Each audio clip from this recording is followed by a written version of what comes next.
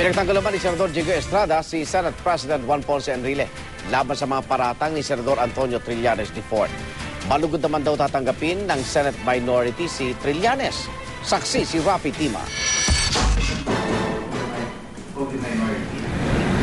Ang paulit-ulit na pagsabi ni Senator Trillanes na gawain ni Senate President Enrile na isagasa ang kanyang gusto ay dap ay paulit-ulit ko ding tututulan bulag o bigil lamang umangmang ang magsasabing isinasagasa niya ang kanyang gusto.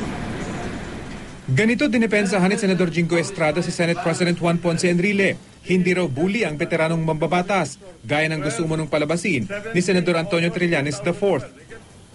ang kanyang pag-alis sa gitna ng diskusyon o pagtatanong ay maaring masasa- masabi ng ilan na kaduwagan. Juan Ponce Enrile is not a lackey of Gloria Macapagal Arroyo or of anyone for that matter. That I'm really certain of. Sinigundahan si Estrada ni Senate Majority Leader Tito Soto. For the record, I would like to confirm what uh, Senator Jingoy Astro Estrada has stated concerning the Senate President. And I wish to associate myself to what he has manifested. Nakahanap naman ng kakampi si Trillanes kay Senate Minority Leader Alan Peter Cayetano.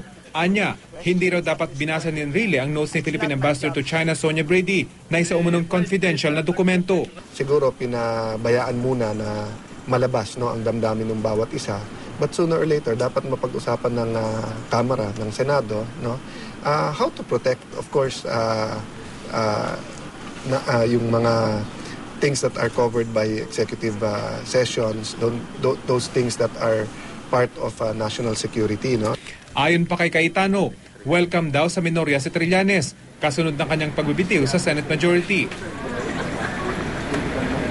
Hindi na sinagot ni Senator Trillanes ang mga sinabi ni Estrada at Soto sa kanyang pagbalik sa sesyon matapos mag-walk out. Sa halip, sumentro na lang siya sa interpellation sa panukalang batas na maghahati sa probinsya ng Camarines Sur na siyang nakalinyang pag-usapan sa plenaryo bago sila magtalo ni Enrile. Sa pagpasok naman sa session hall ni Enrile ay halos hindi nito tinanggal ang tingin sa batang senador hanggang makarating sa kumpol ng mga kapwa senador. Sa huli, hindi na muna tinapos ni Trillanes ang kanyang pagtatanong tungkol sa panukala. because uh, we have uh, just received the uh, clean copy of uh, the bill, uh, the succeeding parts will be uh, done in the future sessions. Nang matapos ang sesyon, nagkamay at nagngitian naman sina Trillanes at Estrada. Ako si Rafi Tima ang inyong saksi.